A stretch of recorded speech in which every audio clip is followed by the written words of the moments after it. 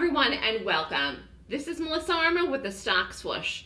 And I drew this pie chart. This was part of the lesson that I did the other day in the trading room, and I wanted to just do a quick video on it because say you have a period of time that you spend trading. So all of this in the blue is the time that I spend preparing to trade, getting organized, rating my gaps, deciding what I want to trade in what direction. Then the red part, okay, this here, this part here is the time that I'm actually in the trade, invested in the trade, okay? So the point I want to make with this with this pie chart is that most people do the opposite, okay? Most people spend less time preparing to trade and more time in the trade. That's not the right course of action. The more time you spend access, it's the planning, it's the organizing, it's the thinking, uh, it's the study.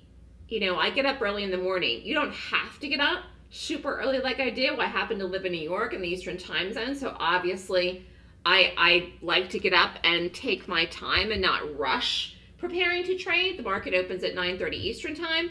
But either way, I'd say you've got to give yourself a good 60 minutes, one hour, okay, to get organized before you trade wherever you live to do the prep work.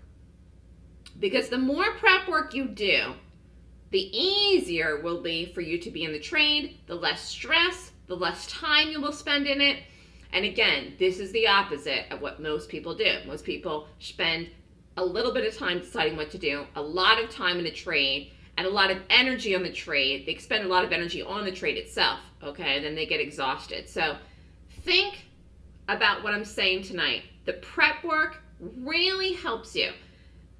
Also, when I'm preparing and deciding what to trade, that gives me the conviction and it gives me the confidence to take the trade the less amount of time in the trade, the less amount of energy, the less stress, more time preparing, more time planning. Like think of it, for example, like, you know, like if you were going to start a business, okay, you would write a business plan, you would prepare, you would hire employees, okay, you would get organized. All of those things, the better prepared you are, the more successful the business will be when you launch when you start the business, when you go out into the world and offer your products and services to customers and clients. So, I mean, it just goes back to the point that the prep work is a critical element of trading, and, and it really is going to make a big difference between being successful and failing.